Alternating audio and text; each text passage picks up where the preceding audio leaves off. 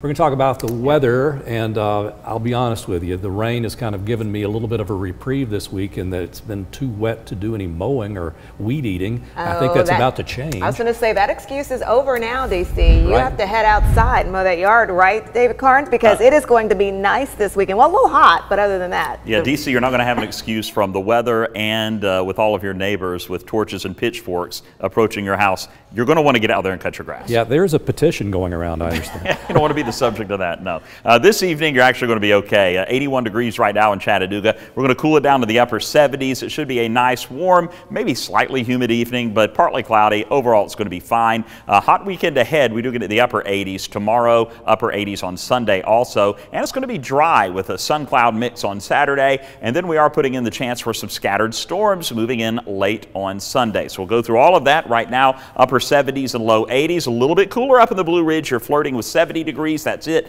74 in Altamont and light winds out of the north northwest right now.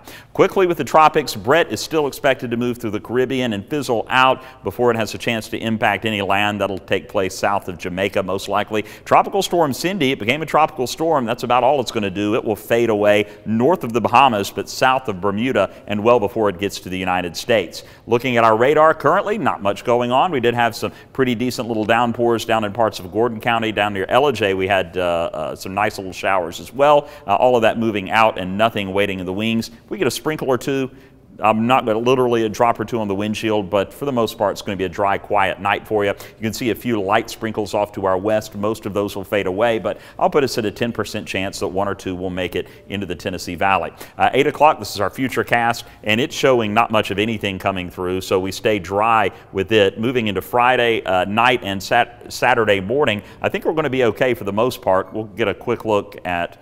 Uh, let's see, our future cast is stalling there a little bit. We'll try to get through it. There we go. This is the one we're looking for. Through Saturday, we'll have some broken clouds. Don't expect much in the way of rain at all on Saturday. I'm not even putting a 10% chance in. It's just going to be hot and slightly humid. Not, uh, not horrendously humid like the end of August when we have dew points in the 70s, but dew points are in the lower 60s, so there will be a tinge of humidity to deal with. And then Sunday, we're looking great for the first half of the day. It's about 12, 1 o'clock. It's not going to be until 5 or 6 when we see this flare up ahead of this next front of some pretty decent storms. These would be strong storms moving through uh, by 6 o'clock, and we could see some damaging winds, even some small hail, and can't rule out an isolated tornado with these storms sliding through. The risk is low, marginal risk, 1 out of 5 on the risk scale, but it is still a risk. And that's going to be the case through Sunday night, and we may even see a few of those lingering into early Monday morning. This is 4.30 Monday morning, but by Monday afternoon, we're going to see behind that front things beginning to clear out. That's going to set the stage for a few dry days heading through next week, the middle of next week.